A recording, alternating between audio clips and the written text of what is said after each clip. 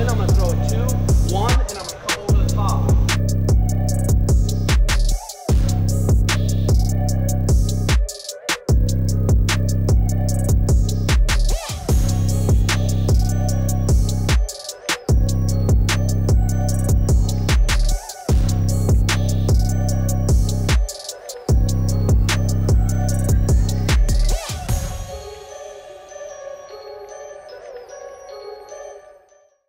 We're running right now? Yep. Okay, let's get out of this funk we got going here, boys. get up, drink your cup of ambition, and get on the road, boys. Get it cranking, Jay. Turn it up, boys.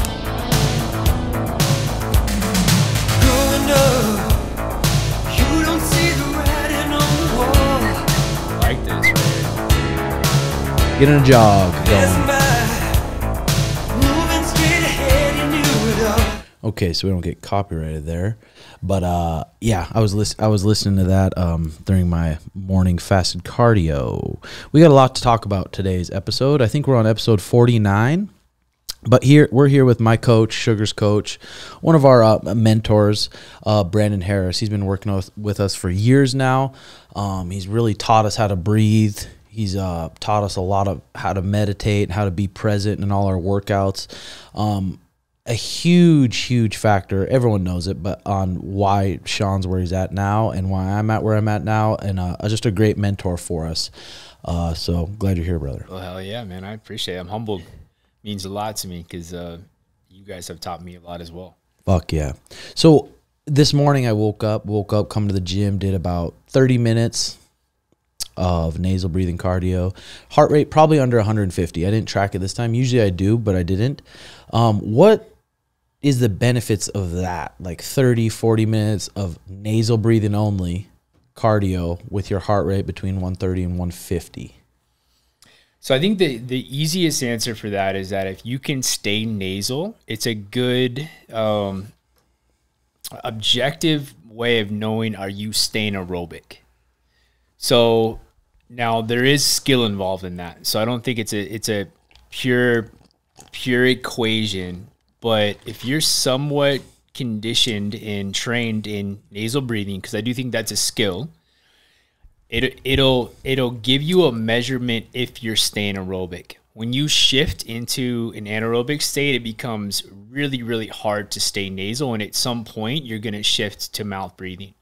So think of it as like nasal breathing is really good for you, but there is a time and a place where using your mouth is good as well. When your heart rate's up to 180, 185, you need to slow it down. So you need to get some breaths in.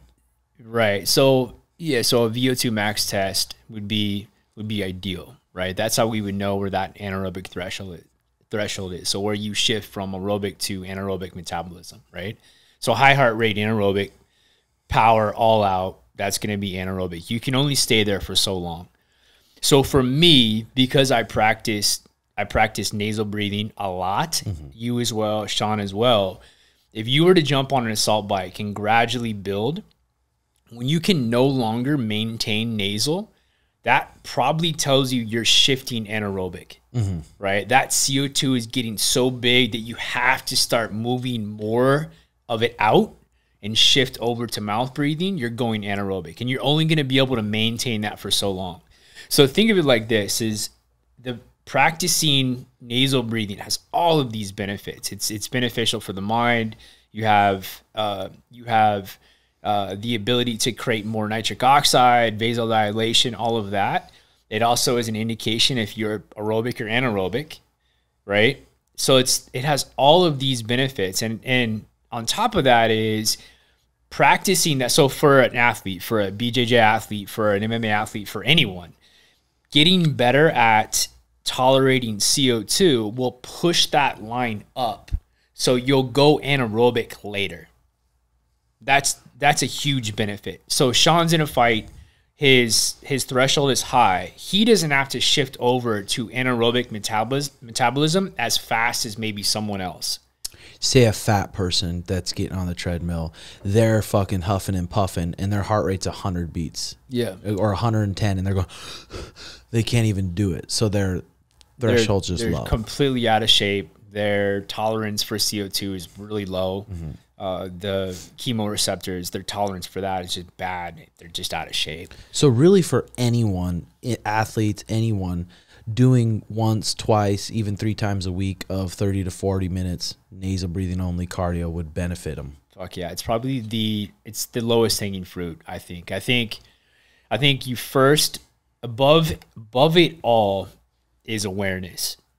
We've talked about this, like just just awareness in general, and having awareness of your body and having awareness of your breath, which is a huge piece of meditation and mindfulness. Right when you're when you're starting that journey, just the ability to be aware of your breath and feel it and to be able to be aware of your thoughts and separate that that's huge but the awareness of of the air coming in and out i think oversees everything so for the majority of of people out there you want to get and even for people that are fit mm-hmm. because a lot of times like that again is a low hanging fruit it's something they're not doing because think about in bjj like how often is your heart rate sitting around 130 probably not much at all, right? Like it's for most people, it's like six, 160. Like it's a you're in that middle tier to that high tier.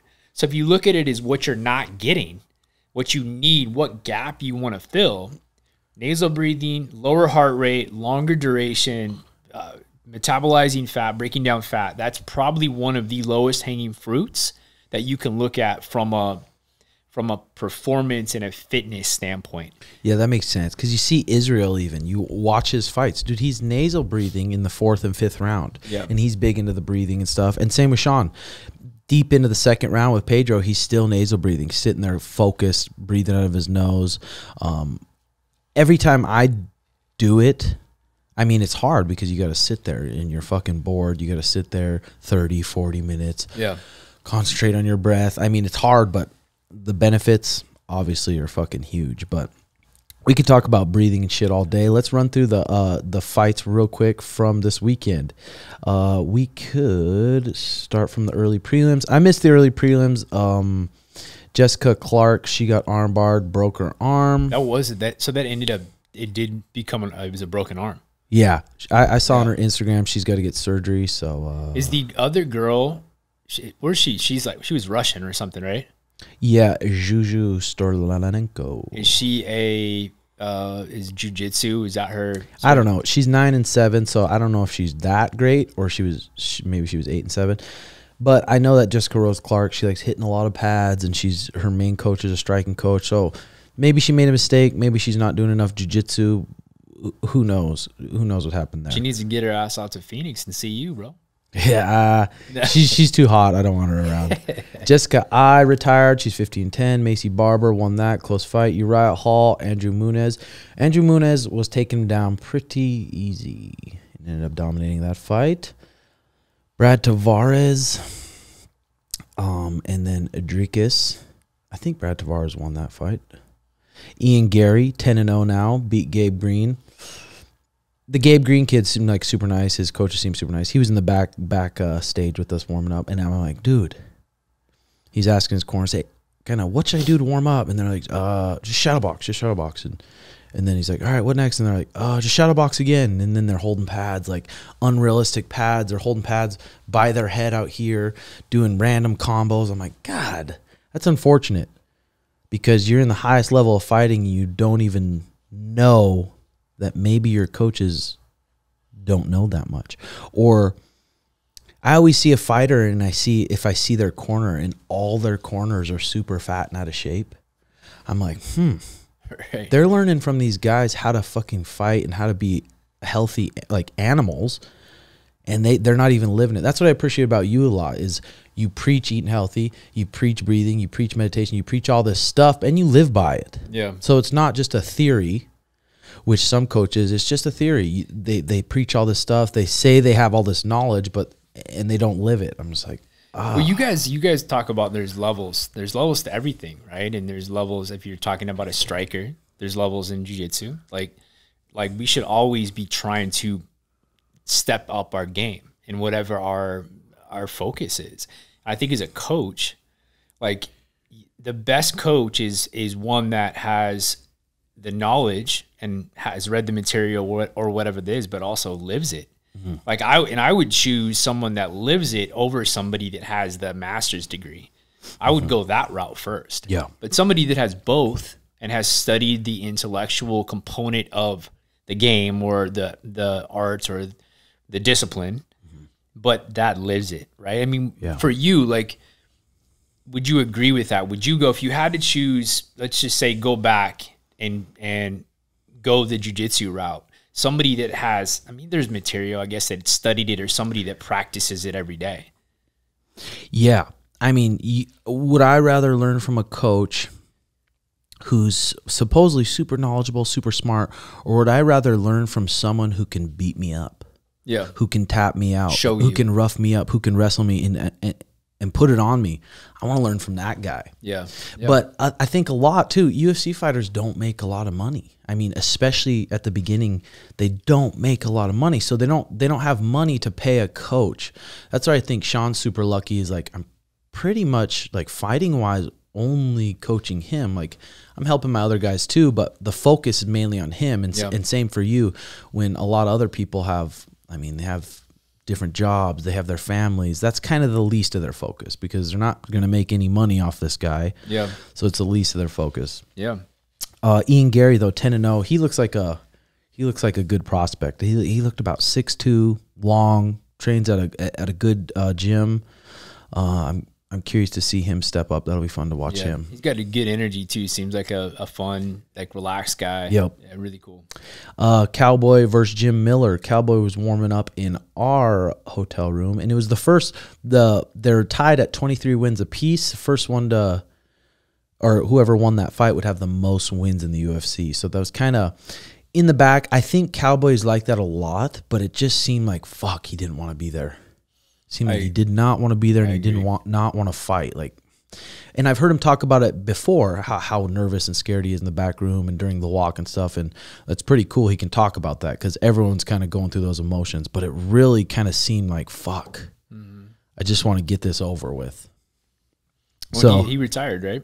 yeah, he retired, which is good. I mean, when you have two kids too, he used to be Donald Cowboy, the crazy guy who does all this shit. Maybe the the two kids kind of calmed him down down a bit.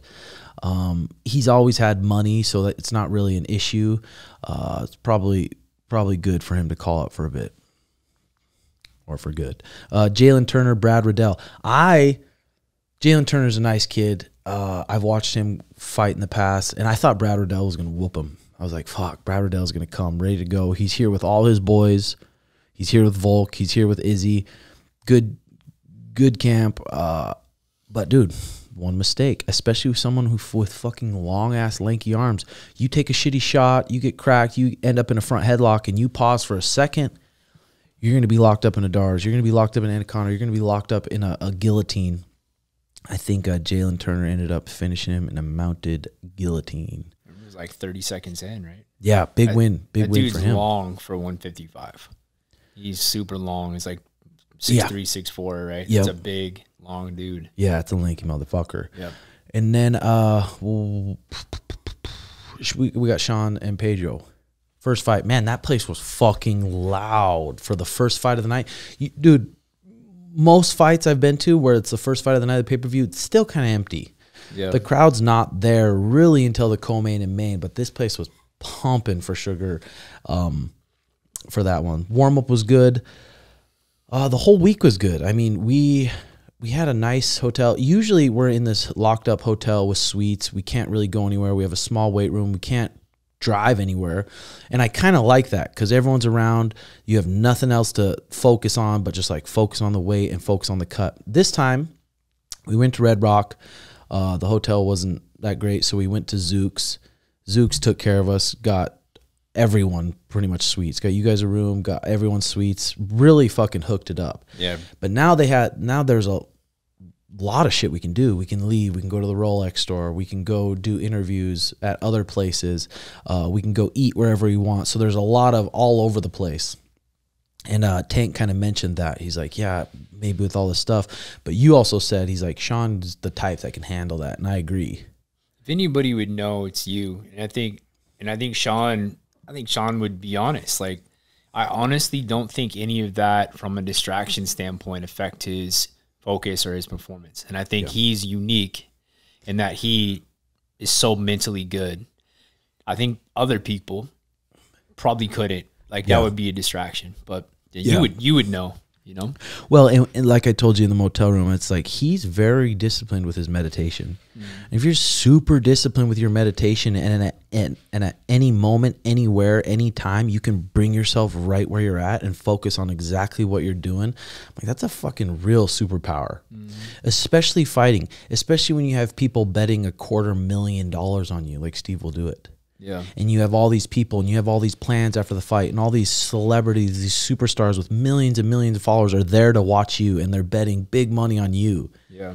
um and and then he puts himself right in the moment and he's there. Yeah he's definitely a, a gamer like that. But again that confidence obviously comes from his preparation and being able to put himself in the moment when you got 30 25,000 however many people fucking screaming at you and a lot of pressure so it's super impressive that that he can do that Yeah, it was it, it was cool. Chris Pratt, right? The the uh, dude from Jurassic Park and Mm-hmm. that actor, he was there to see Sean. I just, actually just started watching this. There's a new Amazon series where he's like a, a, a Navy SEAL. It's actually a really good series. So that was cool, kind of cool to see him there. yeah And then, like you said, man, that that place was full. The celebrities were there early to start that card because of Sean. Yeah. which was really cool to, to see and feel. Yeah, it's cool, and and the UFC higher ups see it. They see what's going on, so it's a it's a good. Uh, so the fight, uh, I just still I'm like I just don't think Pedro's such a fucking tough guy. He's had so many tough fights. It's hard for me to kind of believe that he wanted a way out, but also I'm like he's very smart. He, I mean he's he's been around this game a long time. He's very smart. So maybe he, yeah, that right hand did close his eye. Maybe the left hand did kind of scratch his eye a little bit. And he's like, fuck, this is my time. This is mm. my time to not take the L on this match because I can't really see that great from the right hand he hit me with, first of all. Yep. And maybe he did scratch the other eye a little bit. So this is my time because it he didn't take the full five minutes. You watch him, he didn't even kind of try to open his eye a little bit. So in a way, it was just a super tactical, probably a smart decision by him because through the sparring, Sean sparred a lot of new newer guys that he hasn't sparred before this fight camp, and in about five six minutes after the first round or whatever, he figures them out. He figures them out and he starts landing fucking clean shots. Yeah. Uh, so I feel like that. I mean, that was going to happen later on in that fight, and especially how good of uh, shape Sean was. He's going to be able to turn it up in the third round and start really piecing him the fuck up. Uh, What it felt like to me too, like purely from an energy standpoint and being there, like there was a breaking point early in the first round where it felt like Pedro's energy demeanor shifted. And I think it was it might have been that right that caught him. And I think it was before that that teep kick that he said got him in the groin, which didn't seem like it did. And it was almost like Sean's speed and his ability to to keep Pedro at distance like just kind of threw him off and at that point that seemed like to me it played into that like you said like a business decision at mm-hmm. that point he's like fuck like like almost like he got broken away. which from a guy that is world class and has been in there with some of the best in the world to me that shows that really does show Sean's skill yeah, his strength, his speed. yeah, and the level he's at, and he, Pedro after the fight, Pedro's a super nice guy. Like tons of respect for him. Uh, he even said he's like, God, I'm so sorry. He's like, that kid's gonna be champion. He's so tough. He he he said that to me right Yeah. after the fight. Um, but I- mean, I think they came out there thinking I'm gonna be able to kick the fuck out of this guy's leg. Pedro's known for his calf kicks. I've talked to training partners from American Top Team. They're like, he's known for the calf kick guy. So he came out there and kicked Sean with his best shots, and Sean checked him, checked him, checked him, ate a few. And I think he was like, "Fuck, this motherfucker's still here," and he's checking those kicks. And he previously he had a foot injury. That's why the fight didn't happen in Phoenix. And he checked a few of those kicks right on that foot. The? Do we know? Is it his right foot? I don't know which foot it was, but he checked some fucking hard kicks. Yeah. If you've never had a check uh, kick checked, It seriously fucking hurts. But it's good to know now that those judges scored that first round for Pedro that you can just touch the legs with your toes and that's going to be a significant strike. I learned from a, a world champion in Muay Thai, uh, Fabiano Cyclone. He, he used to kind of show me you can use the front of your foot, your lead leg, and just smack their thigh with your foot. Just smack it. It's almost like a jab. It's not going to do any damage. Point. But to the judges, it is because it's smacking and it's not hurting. Um, so that's a one thing we're going to definitely implement because Sean was checking those kicks that should be considered a strike for him because it hurts Pedro. But those judges, who knows what the fuck they know? They probably don't know shit. So they're like, oh, he kicked him, kicked him in his knee. That's going to be a point for him. And so, because I think they said 28 kicks landed or something. I'm like, there's no fucking way, dude. There's no way. Yeah, that's cra- that's crazy. Uh, what's next? I kind of talked about that on Patreon. What I think's next? I don't know. I, I don't know. We could. We had that little fucker Henry calling him out, but I think Henry just wants to stay relevant. I don't know if he wants to fight again.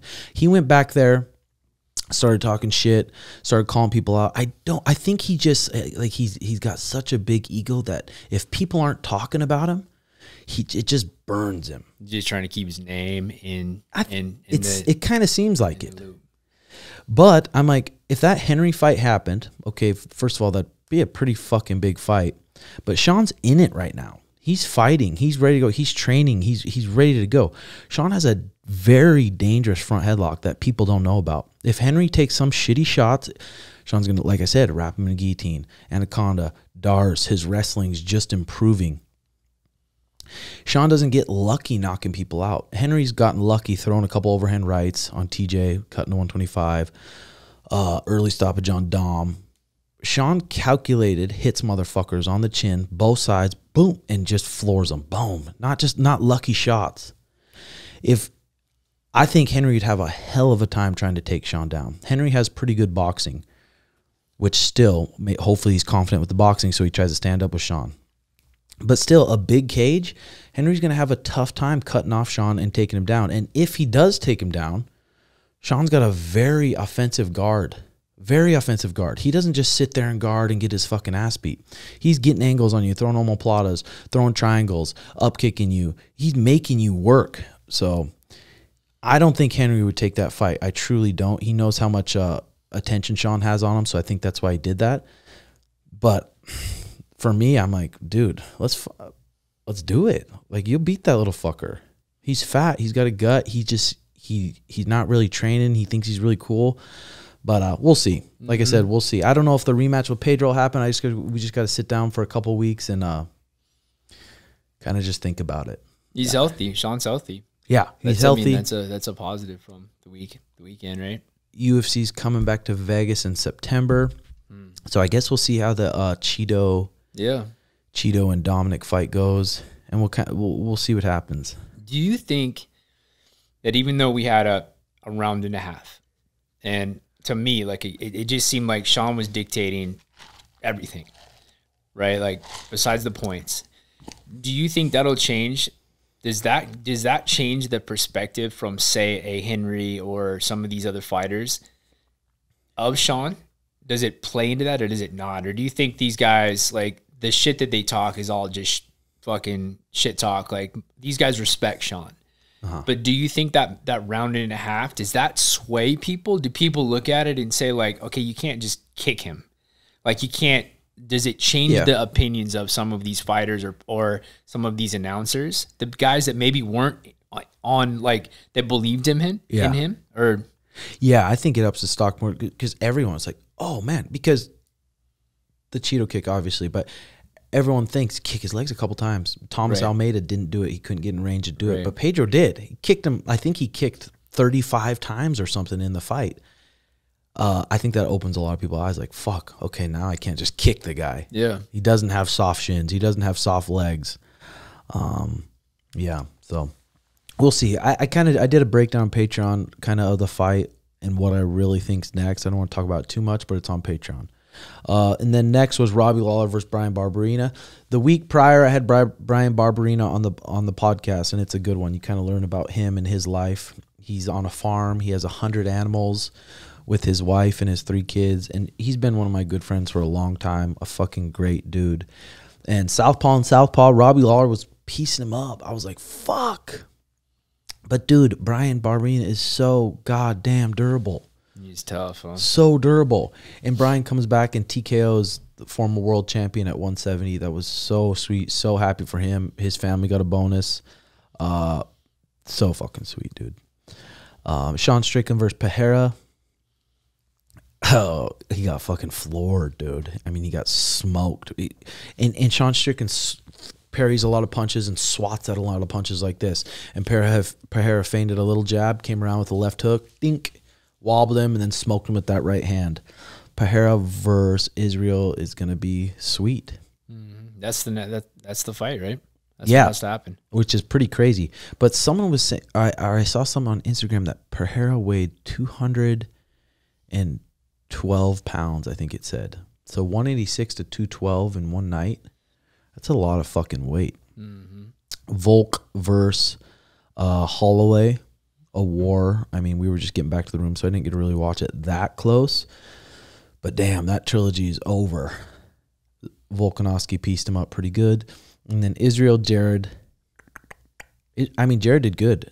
Jared, I mean, he fought a good fight. He could have took a little bit more risk, but it's so easy for people to say, "Oh, take more risks." You take more risks on a good calculated striker like that, you're gonna get be face first, fucking lit up. Yeah. So you can't really take a lot of risks. But Jared did really good. Stayed tough for five rounds, won a couple rounds. Um, that'd be sweet if they did Jared Sean Strickland next. That would be really sweet. So I don't know. Uh, after the fight, we went to the uh, the Zouk nightclub, and it was all right. I mean, we went out with uh, Kyle, Nelk boys, and Sean. And it's like you you when you're with the like stars like that, you go to a table and everyone is just like staring at the table, so you can't really let loose. I mean, it's kind of uncomfortable for me, but we had a good time. Uh, the girls had a good time. We got a buzz. But like I said, with those clubs, it's like I get there and I'm like, ugh. It's just I'm waiting to leave. Unless you're unless you have an opportunity to flirt with some chicks. We struck out, Mariah struck out. We all struck out on the chicks that weekend. Um, but it was still a, a good time. Not quite as fun if we're celebrating a clean KO, but still, Sean's healthy, and I don't think it does anything to his stock. So I got a question for you. I saw that the uh, pool party, you had the uh, Liver King there. Yeah, What was the, what was homie? What was he talking about? What was he? Cool, good dude. Like he was. yeah, reeked of bo, which is cool. No deodorant. No, he said, "Fuck no." He was, he was like, "Why would I wear deodorant? You know what's in that shit? You got to enjoy your own smells." Yeah, it was. But and he, super fan it. of sugar. Yeah, It was pretty cool. that's cool. But that motherfucker's yoked. Yeah, Like his abs are as big as your head. yeah. I I I like. I mean, I, I like the dude. I follow him online. I don't think there's any way he's natural. You know? Uh, I mean, no. but he says he he he says he is. I mean, you that- got to right. you say that. If- you're selling a supplement, you got to say I guess, but I mean, I, t- I mean, I'm in that that space, and to me, that's a little dirty. yeah, yeah, because you sure. got you got kids that think like that's what you can look like by just training hard. Yeah. Yeah, I don't know. I don't think so, but who knows? I could be wrong. I want to I want to go out there and, and take to his house and uh, do a pod with him and stuff. But the sick. motherfucker was yoked, dude. Yeah. His back, every muscle in his back, his legs were just veining out. yeah, And yeah, they never shower with soap. Him and his wife, they just uh, do water. But he was he was a nice guy. Yeah. It seems like he's wanting to spread a good good message. Whole Foods, but yeah, What did, would you know his story? Like before he was the, he, he's had some other successful businesses, right? Is that I don't know his story. I'd be interested in that. Like this Yeah. Liver King thing is more recent, right? I'd be interested too. So hopefully we can go out there for the, and do a Timbo Sugar Show pod with him, and we'll ask him about it. But so I heard from someone it was an article, so who knows if those are true or not. But he makes like two mil a month from his supplements, Good for him. which is like you gotta yeah keep running it. But there's just, I mean, can you look like that eating just food. I mean, just natural food, chicken and rice. Not not chicken and rice, but just fucking raw food.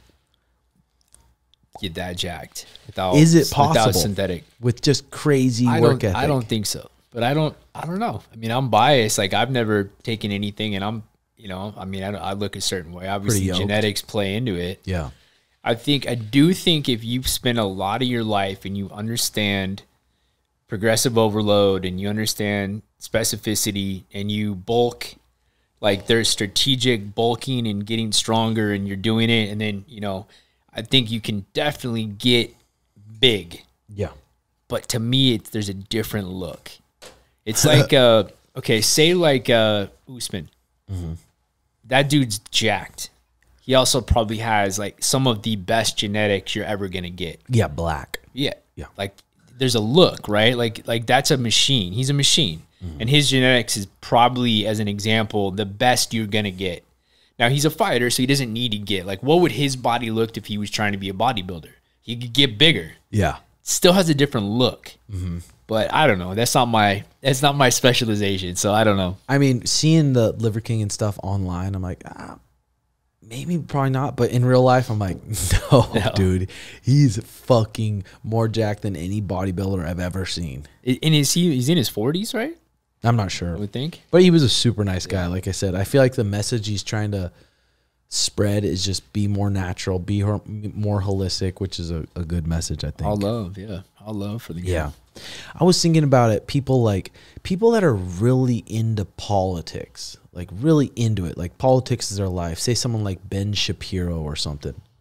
I wonder if they're ever just truly relaxed and able to be just kind of mindful and just be present and happy.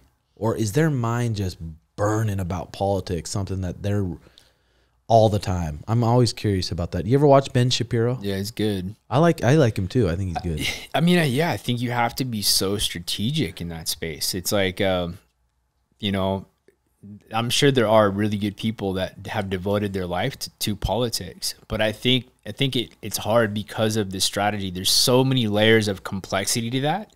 Like it's you know it's just fucking way too much for me to, to comprehend. But at the same time, I can appreciate and respect that like there's layers like money, power, go way back. Like to be able to understand how that all comes together. I just no thank you. Like for me, I want I don't want to be strategic in my relationships. I want to be sincere, authentic. I want people like you around me that I can just not have to like plan my moves, right? To say I want to impress this or you know, I want to do this to influence them. So I'm grateful I'm not in politics, right? Yeah. Yeah, for real. Cause I'm like, fuck, how it would be hard to shut your mind off. I always think about that too with like people who are lawyers or people who are like uh investigative agents. Like, can they ever shut their minds off? Do they go home and they have a switch or like I can shut it off and I'm not there? Or are they always trying to think? Cause I'd be miserable. I'd be like you're living in fucking hell, dude, for me. Yeah, I, I mean, I think one of the arts of practicing mindfulness and meditation is this idea of uh, there's different types of awareness, and focused awareness would be a big piece. So choosing where you're where you're aware. So I think people that are really like that operate in that space that are still have some kind of peace is they're able to transition. Basically, they're whatever it is they've decided to focus on, they're there. So, you know, you're you run a huge company and you're, you know, you have to be able to to dedicate your time to different things and then you go home and it's okay, I'm shifting my attention or my awareness to my kids or my wife, right? Like I mean, that's that's a huge skill For real. right so awareness and meditation isn't just isn't just the goal of not thinking it's being aware of your thinking and being able to direct it to whatever you want. Could be on the breath. It could be on this conversation. It could be on a work you know right? It could be anything you want but the ability to tune in to what you choose is a huge piece of that. Yeah. I mean, I can't even imagine how many divorces are because of that. Yeah, they make good money, they have a nice big house, but the husband or the wife comes home and they don't know how to shut it off. yeah And they can't be there with their kids. They can't be there with their wife and, and enjoy the things that they have to offer. They're just minds going. and Yeah. then it ends up in a divorce. Yeah, and they I think you probably end up with a lot of situations where they that's that's the way they think it should be because they make money. Therefore, you know, right? Like that's my role. My role is to be the provider and make the money and you should just do your, you know, like that's okay. It's not. Like if you care about your relationship, you should care about the other that other person and their your time with them. Right? But Yeah. I think a lot of times in our society in our in our culture, money is such a you know like that's the priority Yeah. that people put it above everything else the reality is you can make really good money make tons of money and still be a good husband or a good partner good friend Yeah. again can you shift Yeah. can you shut it off Yeah. And then some of those husbands that are like, look at the house you live in or look at the car you drive. Yeah. And one's like, yeah, but you don't hang out with me or you Right. don't fucking love me. yeah Um, yeah. So you've been dating Chelsea for how long now? two years actually we met two years ago almost to the day Damn. Yeah, so it's it's weird that I remember July seventh, twenty twenty, is when we met, and the coolest part about that is I think I've told you this, but so she boxes, she loves MMA, she lived in Spain for a year and a half, and she was boxing there, and prior to that, she so she studied like sports journalism. And she did a study on concussions, or she did a story on concussions. And so she was interviewing people at the lab.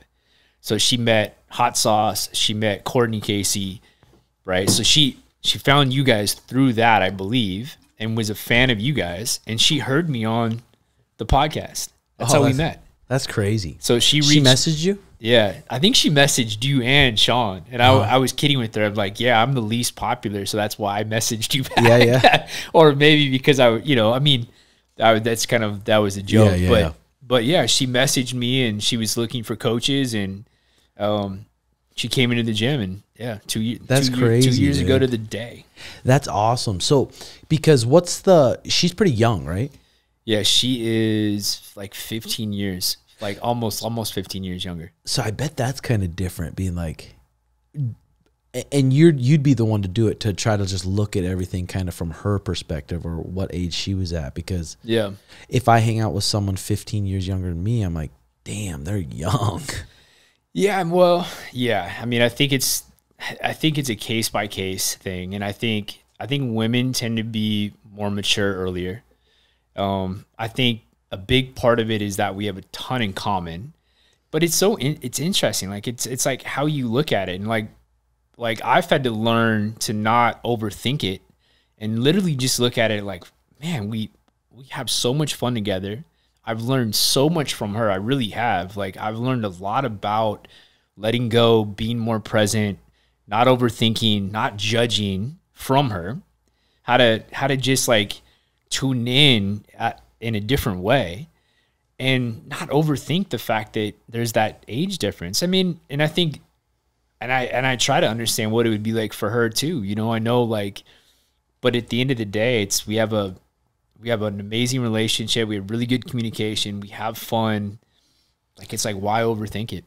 Yeah, I mean, I feel like with an age difference like that, I mean, you're so open minded, and I think it would be hard when there's age differences like that if the one of the persons wasn't. Right. It's just like, I uh, no, it's this way, it's this way, it's this way, and I would be curious to test your biological age because you're probably younger than most 28, 27 year olds. Yeah. health wise. Yeah, like to think so. I mean, I think um I I think that's a piece of it. I think like you said being open-minded and then looking at it from a conditioning standpoint. Like why why is that like why would some people think that's couldn't work?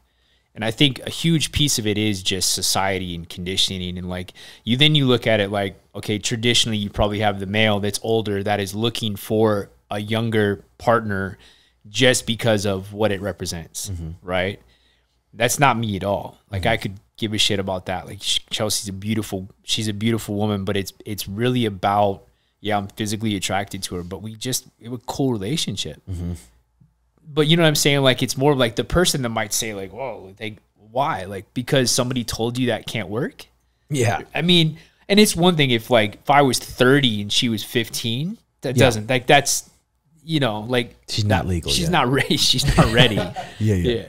at 27, she'll be 27, and I'm so I kid too. Is like I'm just gonna keep saying I'm 40. Yeah. Like I'm gonna stay 40 until she's over 30, and then if I'm lucky enough to still be with her, and then it, the gap is closing. Yeah. It's like after you're over 40, who cares? Yeah, like until you're 50, Yeah. and when you're you know younger, it's like so. Yeah, it's cool. We have a cool a cool thing. I'm lucky, you know. Yeah, you guys fucking got a cool relationship. That's pretty awesome. So, uh, I guess the Tesla bots are coming out soon, everyone. Uh, if you had, if it said, say, 10 grand, say they started at 10 grand, and this bot does all your dishes and does all your laundry and does all your vacuuming, are you scooping it? I haven't thought about that. There's something that freaks me out about that, and it's probably like the Terminator, you know, type Yeah. of. But there's also this side of me that that like appreciates doing things, right? Like like the value of doing the dishes from a Mm-hmm. standpoint of like learning to be present. Yeah. So I don't know. I, I I probably would like to be honest. Like if it's not going to attack me and they're not going to take over the world, like I probably would get one. You know? Yeah, yeah, me too. I mean, I've kind of got to the place too where I've, I'm like, okay, just do the dishes and don't mind doing the dishes. Turn on some tunes, take a little smoke, smoke, and Yeah. just have fun doing them. But I think when you have kids, it'll probably change. Like, fuck, I don't want to do these dishes. Yeah. Fuck, I don't want to do all this laundry, uh, and all this shit. So I, I would definitely probably get one if it's just like does shit like that. And then, yeah, I don't know because If it, if it frees you up, there's so much value. yeah, you can read or train or what, exercise, like you know, take a walk. Like there's a ton of value in freeing up your time. So yeah, that's that. They're that close on that, right? Yeah, th- three months. I don't know if it does like the chores and all that shit, but um, yeah, but dude, it's gonna be crazy. I mean, you could you could verbally abuse that thing if you wanted to. We we do live in a crazy time like right now with the progression in technology, and it's only going to exponentially increase. Like it's it's pretty wild. I mean, I guess we're lucky. Well, they were talking about about, this uh, this Google engineer saying um, it's this video saying chatbot has developed like feelings and sentiment. I Sentiment that. sentiment means a view or attitude toward the situation or event or opinion. See, that's where it's like, oh fuck. Uh, they start having feelings and they start having their own. Ugh. That's where it gets a little bit scary. Terminator. But a little Tesla bot to do my chores, sure. Yeah. Put a little wig on it, get a little HJ once in a while. Jay would. Jay, did you get bored on the trip? Well, I mean, just like when I was just in my hotel, I was just watching YouTube. That's it. Yeah. But J- it chill Were you watching YouTube just on your computer or phone? on my computer. Yeah, I was just watching like that dude Big Daws. His pranks and shit are pretty funny. Yeah. Well, fuck. I should probably go to Patreon. On Patreon, we got a bunch of some questions here. I like Jay's style though, man. You're one of my favorites, bro. He's laid back. He keeps it real, dude. Yep. There's some, there's a lot of depth to that dude, man. Yeah. he's a, he's an artist. I I enjoy our time. You could do anything with Jay, and it's just going to be a chill time. You could go. You don't have to worry about fucking entertaining him. It's uh, it's good, real good. Uh, okay, here we go.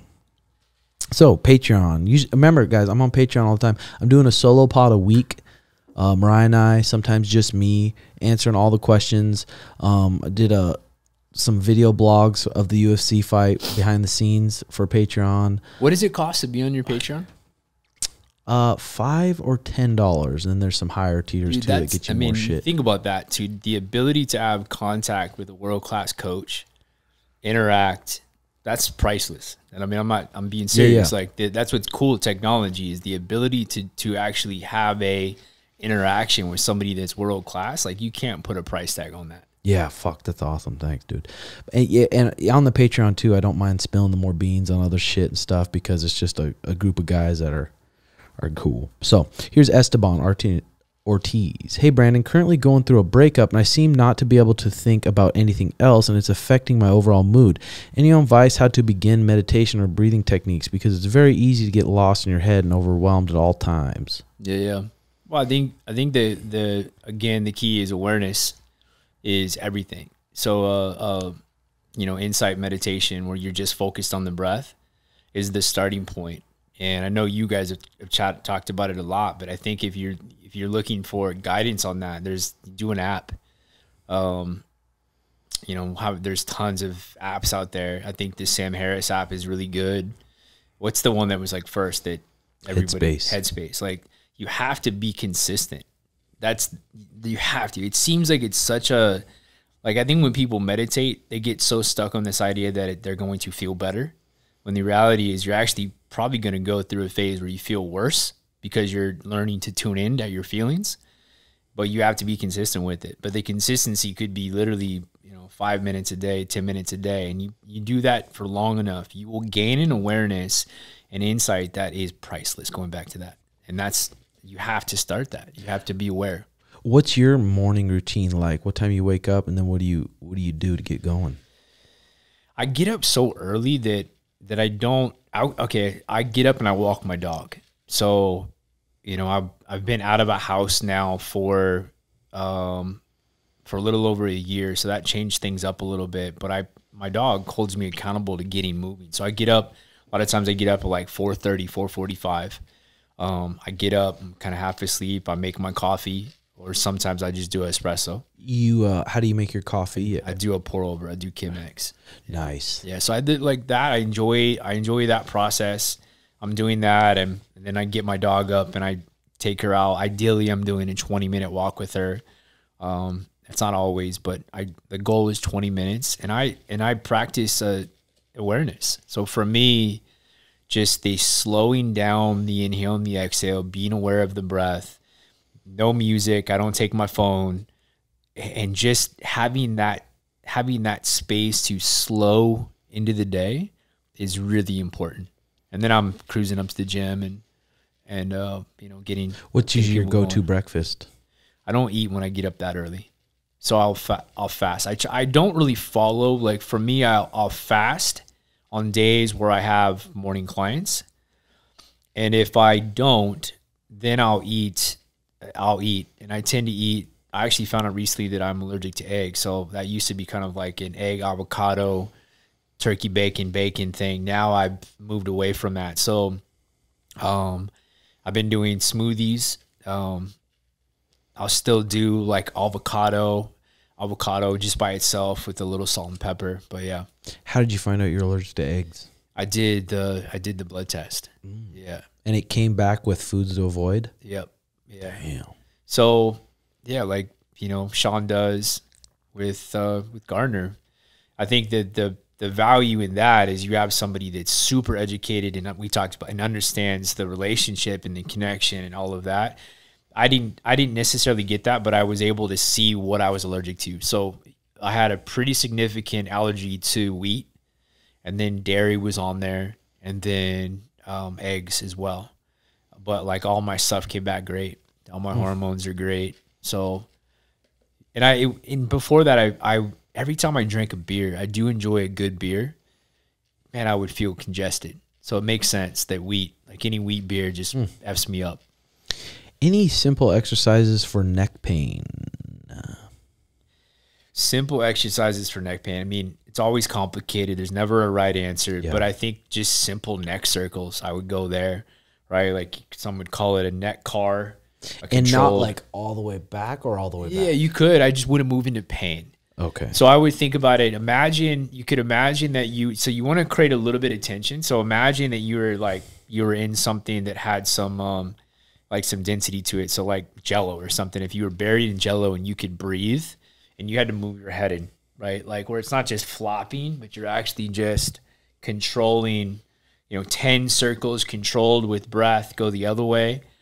That could be a simple a, a simple answer. Don't move into pain and then you could apply isos as well isometric so so you could find the angles that create pain and then stay just shy of it and push into something right so you could use your ha- your hand or you could use like a band or something right so isometrics are a, are a, a safer way to start as well Yeah, you had me doing that. Some of that stuff with the shoulder is right. good. Uh, Logan Penhollow. Who are some trainers or coaches that you take inspiration from or try to learn more from? We talk about Paul Chek all the time with you know I know you guys are connected with him Um, I go way back following his stuff and reading his stuff back to when I was a rookie trainer just out of college. Um, there is, uh, I think, there's a system called PRI, the Postural Restoration Institute, and I have tried to dive into a lot, a lot of their material. So if you are a, a young coach, a trainer, I think looking into their stuff because they understand the um, the importance of breathing and how breathing influences movement, and that's overlooked a lot. I would say that majority of strength coaches don't have a good appreciation for how breathing affects your ability to move. So if you can marry a good understanding of strength and conditioning and progressive adaptation and overload with an understanding of um, of how air pressure influences your ability to move, that's the fucking that's what you want. money. Fuck yeah. Uh, you've told me multiple times that most, I mean, martial artists or people who fought for a long time will probably have shit going on in their shoulders or their rotator cuffs. Uh, Wyatt says, when it comes to shoulder injuries like shoulder impingement and rotator cuff tears, how does one handle the situation? Can focusing on range of motion and imbalances allow someone to regain regular strength and range of motion without surgery? Again, these kind of questions are hard to answer because everyone's so different, right? Yeah, I mean, I hesitate to give a like I have the answer. Yeah. Because I don't think anybody does, right? But hearing that, okay, it's like has there have you had it have you had an MRI? Like, do you know what's going on? How bad is the tear? But let's just say that it's not that bad and surgery isn't needed. Could balancing out uh, structural balance? It, but yeah, hundred percent. And I think too, again, how you breathe. Like when we look at the shoulder, so the basic idea with this is that when you take a breath in, every bone in your body is affected. When you take a breath out, every bone in your body is affected. Think of the rib cage; it changes shape, right? So your scapulas, they have to glide on your rib cage. So if somebody is compressed through their upper back, which most of us are, that's going to affect the scapula's ability to move. Okay, the scapula can't glide, you raise your arm overhead, it's going to affect the the joint, right? So the scapula, a good healthy shoulder, the scapula needs to move, right? Upward rotation, downward rotation, protraction, like it, it's fluid. It doesn't. There's no connection on the back. It just glides. The rib cage is smashed and compressed. So somebody that's like chest up, like the rib cage is up, they're stuck in extension. Their scapulas are going to be stuck. So again, I would go back to the dude that's having shoulder issues. Can he drive air into his upper back? Can he get an expanded upper back so the scapula can glide? That's almost always neglected. Like PTs, chiros, doctors, like you don't people aren't talking about that. So get air into your upper back, expand that part of your body, see if it changes how the shoulder feels. I mean, we, we talk about it like like you don't want to you don't want to be stuck with your shoulders if you're trying to be athletic. Mm-hmm. Like who like what expression of power ever looks like the shoulder blades are are stuck back? So a coach or a trainer giving you the cue of pulling your shoulder blades back is probably not the appropriate cue. There's a there's a mis there's a misunderstanding of how that works. You'll be stronger in that position. A classic power lifter bench press, you'll be able to move more weight, right? But but you better be careful if you're if you need to express movement athletically, and that's the only strategy you use when you're in the gym. If that's if that makes sense to people, it's like when I walk into a gym, everybody is typically biased in compression. They're stuck back and then they're gonna go do jujitsu or they're gonna, you know, right? Like even just walking requires movement and fluidity. So there's a big mismatch there. People hmm. are restricting their fluidity in the gym and then they're asking their bodies to be dynamic and fluid and to be able to express movement. So right? and they're like, "Well, I went to school for it." It's like, yeah, well, maybe some of that info is outdated, and they're not willing to change it. Yeah, you just it's like uh it's an it's interesting, man, that like it's missed. I'm telling you how breathing influences your ability to move is just not it's missed. Now I think because breathing is becoming more popular, you're going to start to see move a movement of people that are not only using breathing to influence the mind and work with the mind and our nervous system and calm down. You're going to see it you, you, you know, quote me here on this. You're gonna see more coaches and trainers talk about breathing and how it influences movement, how it influences training and exercises. I hope. So yeah, it's missed. Like I didn't learn about that in college. It's a post college. I'll way further. Like Digging in. yeah, like wow, like and now looking at it, it makes so much sense. Yeah. But I can go back when it didn't, and I'm like, you know, I understand that it's like P- I'll- I'll- I'm saying this, and some people are like, what the fuck is this dude talking about? It's just our, the way we breathe influences our ability to move. Most of us want to be fluid, unless you're a power lifter, right? Unless you're lifting at this gym over here, and you're that's your primary goal. Everybody should be should tweak the way they lift with that understanding. That's perfect. Cooper Giblin, what challenges do you face working in a country that rewards things like sleep in for the, for the week or that kind of corporate grind? Currently working marketing and sales, and those who get rewarded in the office tend to do unhealthy things. Yeah, I mean, fuck, that's probably tough. What do you What do you think on that one? Yeah, it's there's there's a ton of there's a ton of conditioning. There's a ton of I'm, I'm assuming he's saying like kind of the grind mentality, right? Be the first one into the office, and Or sleep for a week, sleep in for the week. yeah, that I'm confused there. I'm confused too because Yeah. you spelled week W E A K. Sleep, or sleeping like, in is for the week. It's for the week. Okay. Yeah, like people that stay up late working all the time. sometimes I feel like that. I mean, some sleeping in. I sometimes I sleep in, but I I I know what things make me fucking feel good, and I feel like I know what things to do to make me feel creative and make me feel good and make me have good energy. Yeah. I think he's talking about like the people that say sleep is for the weak, like the people that yeah, yeah. Oh, not like sleeping in, but people that um, you just grind. grind, like Yeah. don't care about sleep. Fuck your is what health. he's saying. Fuck your health. Grind. Yeah, basically. I mean, there's gonna. I feel like with those kind of people, there's gonna be an end to it. Yeah, I mean, there's nothing wrong with working hard, right? Like, look at you. You've got this new gym. You got like you've worked hard. You've earned it. But there's a there's still a balance that can be had, and that balance depends on what you want. Like, you're not gonna you're not gonna become world class at anything without working hard. But that doesn't necessarily mean you've got to drink seven Red Bulls a day and like Yeah. it might mean you you know you you're sacrificing other aspects of your life your social life it might you might be sacrificing not going out so that you can be healthy and and push the grind like i think there is definitely a balance and that balance line depends on what you want to achieve because you're again you're not going to be world class by by being lazy Yeah. but that doesn't mean you have to be unhealthy either, right? And I think that's the that that's the line is like the dude that's grinding in sales or whatever and he's fucking still partying four nights a week and he's maybe he's using drugs and he's drinking Red Bulls like that dude is going to burn out. But the person that prioritizes sleep, pri- prioritizes healthy relationships, understands what they value, understands what they want to be good at, gets up at can get up at 4.30 in the morning and, and still be healthy you know so i think that to me is how i would perceive that is like know what you want to be great at and then prioritize health right Yeah, and, and occasionally go fucking you know get after it like that's nothing wrong with that either like kind of form your habits around sure. what you're trying to do.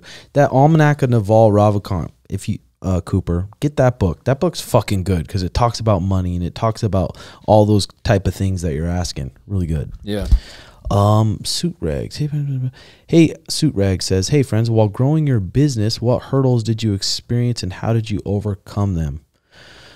I, uh, for me, I mean, I've had I have so many friends and people that have businesses that I've been able to get advice from, so I I didn't have to like just make all those mistakes and figure it out on my own. I, I still did, and there's still hard things. But one thing that I I did, I think that helped out a lot is just started really small. I didn't start with the gym I have now with all this nice equipment, with all these brand new mats, with all this nice stuff. I started with some older wrestling mats, older shitty wrestling mats that I got on offer up, renting a mechanic shop that was 900 bucks a month. That wasn't hard to really get the rent. I mean, I had a couple students. For a while I wasn't making any any money. I was just doing it, which I didn't mind doing it because I love martial arts and I love jujitsu and I love teaching people too. So it wasn't really hard for me because I didn't hate doing it. But I started really small, and then I didn't go big. I went a little bigger, a little bigger with a, a little bit more money um, coming in, and then I went a, a little bigger now. So I think starting small and just kind of gradually building kind of helped me avoid a lot of those big setbacks that other businesses have. Like if I had a big ass place when COVID hit, and now it's like I got to shut down the gym. It's like maybe I would have been really fucking stressful. That's why I don't want to ever get so big that if something happens, I'm fucked. I'm like, oh fuck, now I got to shut down. I don't ever really want to get that big. I don't know. It's going to be hard to navigate though, because people are going to keep want to sign up and keep doing this. So I still just figuring it out. Yeah. I admire too. I've told you this is how you've created a community. You guys have done a really good job. You, you, you know, you've done that like with the people you have around you, and it's like you guys. There's a family, and I and I think that's that's really really cool. And I know there was some some good foresight like with the podcast and just being able to be authentic to who you are that I think is really cool. And I think you know, pat yourself on the back for that. But I but I agree. I think it's, you know, for me the same thing. Like I didn't we didn't, you know, we didn't take out loans. Like I've had a gym for 12 years. Um so we didn't we didn't get we didn't get uh what's the I'm trying to think of what's the saying like our, our head too far in the water or whatever that is. Like In we too took deep, our yeah. yeah, we took our time. We took our time. But I think it's key to key if you have a passion for something and you want to be good at it, you just Yeah. keep getting better. I think that's it too because I've been around gyms that they open it to make money. Yeah. They're opening it, they're getting out fat loans, 170 grand. We're going to build out this. It's going to be top of the line. It's sick. We're making money. But they don't just really just love just doing what they're doing. They're just trying to make money and I've seen them just go under. Yeah.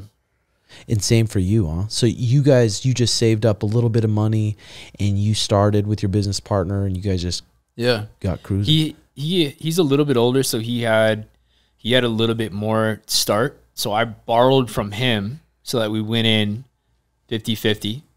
Um, I had some savings and we just we do we bought stuff on uh, eBay and Craigslist and um and just found stuff and then you know looking at it now like we don't you know we owe nothing we never did so it's cool yeah Hell yeah. yeah Never any big struggles that you've had to go through where you're just like, fuck. People were tricky man. I remember talking to you about this and how you know it's like you, you take care of the people around you.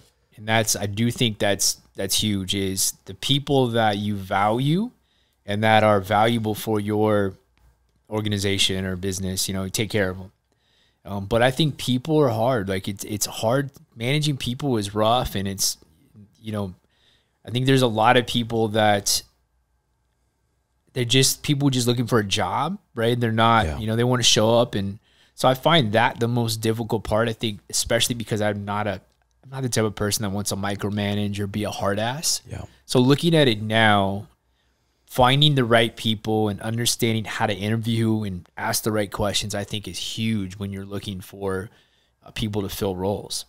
Like know what you need, and then not just throw somebody. You know, they're somebody that's really good at sales, and you're asking them to be a teacher or a coach. That might not be with, right. Like Yeah. you know. Yeah, for sure. I mean, I've been lucky. I have such good, like, I guess you could call it employees, but just my friends that help me run this place. JX, so reliable, loves jujitsu. And I really try to treat them really good Yeah. and pay them more than they're than I'm supposed to pay them and just like make them feel good because I, don't- I don't know. I, I feel like I've done a good job at that, but I'm super lucky to have Jakar and Courtney who've trained their whole life in mixed martial arts and now they're teaching the am- amateur program here and they do so good at it, like top to bottom, building a group, building a community, does everything at the gym. I can trust them. Same with Jay, same, same with Johnny, uh, Art, and Mariah who teach the kids. I'm super lucky to have good employees that were just all like good friends and growing it together. That's Yeah. pretty sweet. Um, Logan says, "What's up, boys? Just really been on being grateful and appreciating myself recently. I'm wondering what are you most proud of yourself for?" Hmm. I don't know. That's a fucking good question. Because I wouldn't say I'm proud of myself for doing what I'm doing. Because I, I don't. I'm not. I'm doing it because I fucking like it. Yeah. That's the reason I'm doing it. So I don't know. Yeah, I, I would. Where my mind goes initially with that is being proud of the the effort and desire to grow. Like I think I think that's um I think that's a like a a, a person that is living a reflected life that's constantly looking at themselves honestly and saying where do I want to get better and doesn't view that as that's a negative thing or that's a weak thing, but that's actually a strength that can admit their weakness. And that took me a bit to figure that out. So my advice for people there is to learn that admitting what you're not good at or admitting your weakness or being able to um, to admit your fear it's power. Because that's how you grow. When you deny those things and you repress them and you pretend like they don't exist like you don't get anywhere. And i think especially males in our culture we, we, we tend to that's harder for us to do. But i think that just reflecting journaling right writing and understanding where do you want the type of person who do you want to be and being honest and working i think that i you know be proud of that Yeah. so Yeah, now that I think about it, I would say I'm proud of the discipline I have. If I if I say, say I want to do something, then I yeah try to like make my habits so I can do that. And I'm, I'm proud of the discipline I have, I'd say. yeah Um, Austin, are the benefits of a sauna worth paying second gym membership because the gym I train at doesn't have one? I'm paying an extra thirty dollars a month just to use a sauna at another gym. What do you say? depends on your financial situation i would say like first if the money if you could remove the money yeah i think it's great i think I don't know all of the research on on heat exposure but i know there's some there's some really good health benefits uh, heat shock proteins and all that. I think it's mental. I think like that mental what you get from from mentally pushing yourself whether it's cold or whether it's hot there's a ton of value there in learning to move towards something that's uncomfortable. I look at it that way. Like I hate cold, and I'm, you know, I tend to be like that's a harder thing for me to practice. But I really think what it teaches you is to move towards something that's uncomfortable, and then go back to what we just we just talked about. Like that can teach you to move towards emotion it's uncomfortable, anxiety, stress, fear. Like actually move towards it, accept it. Mm-hmm. Getting in a, a sauna and it's fucking uncomfortable and sitting there for 20 minutes, you can you can feel something. I think cold and hot on top of all of the other health benefits. So if it makes sense financially, do it. Yeah, for sure. For sure. Yeah, moving towards that uncomfortable type shit. I'm trying to I'm trying to get cuz I have a guy who trains here with with me. He's a sheriff of the SWAT team. Yeah. Big dude. You can tell he's just a badass dude. I'm trying to I want to teach more of the Phoenix SWAT team how to fight and how to be comfortable when shit gets kind of hairy. Oh yeah. Because I mean, cops. I wonder what kind of training they go through to be like, okay, this guy is really disrespecting you, or this guy did something, and not let your emotions just go boom and flare up and kind of black out and do some dumb shit. Just staying calm and thinking about what the bec next best move is. Yeah. I would think SWAT is a higher level than your typical cop. Yeah. I, I don't know. You would hope so. I mean, you know. I'm sure it is too. yeah. Uh, this is probably a harder uh, question to answer, but it just says, "What are the best exercises to do every day?" Breathe. Just a good breathing protocol. Yeah, I fucking would start there. I really would. You know, I would, I would, um, if that's, if I pick one thing, breath awareness, I would start there. I think that that's, you know, and then obviously this person is probably talking about exercise. So that's a much harder question because I do think it's specific. So you probably look at compound, low, a lower body compound exercise if I was going to, but there's a lot of skill involved in that. There's, but Yeah, Give me, give me one breathing. Go breathing. Breath Yeah. awareness. Because Dakota, we don't know if you're 500 pounds sitting there in a chair right now, or we don't know if you're a 150 pound athlete your whole Yeah. life. So it's hard to answer. Context matters. Uh, last one here before the cameras die. And then uh, Brian Nixon would love to hear Brandon's opinion on body weight training in yoga. I mainly do yoga type workouts now, and wondered what a professional like him thinks of them. They can be great. I think one of the issues that could present itself in yoga is a uh, pushing people into potentially more of compression. So an extension like bias practice. which could be an issue. It also might not be. So if you love it and it's mentally it's it's good for you, fuck do it, right? But if I was looking at like if I was if I was sitting down with somebody that practices yoga all the time that has like chronic back or hip issues, I might say, well, you're you know you're probably extending too much. So like I'm always gonna say, there's no right answer. I think yoga is amazing. I think it's a you know mental can be mental mentally very beneficial. Um, can be great for the right person and maybe for everybody if there's a good balance. Hopefully that helps. I mean, yeah, that's that, that's perfect. That makes sense. But uh, that's all we got, folks. I mean, we could talk. I feel like I could talk to Brandon for hours and hours. So we'll have him on again in the future. Thanks so much for coming on. dude. Appreciate yeah, thank you, homie. You the fucking man. Uh, yeah, check out the more content. Patreon.com slash Red Hawk Academy um, to support the show. If not, like and subscribe if you don't mind. Okay, guys. See you next week. Peace. Peace.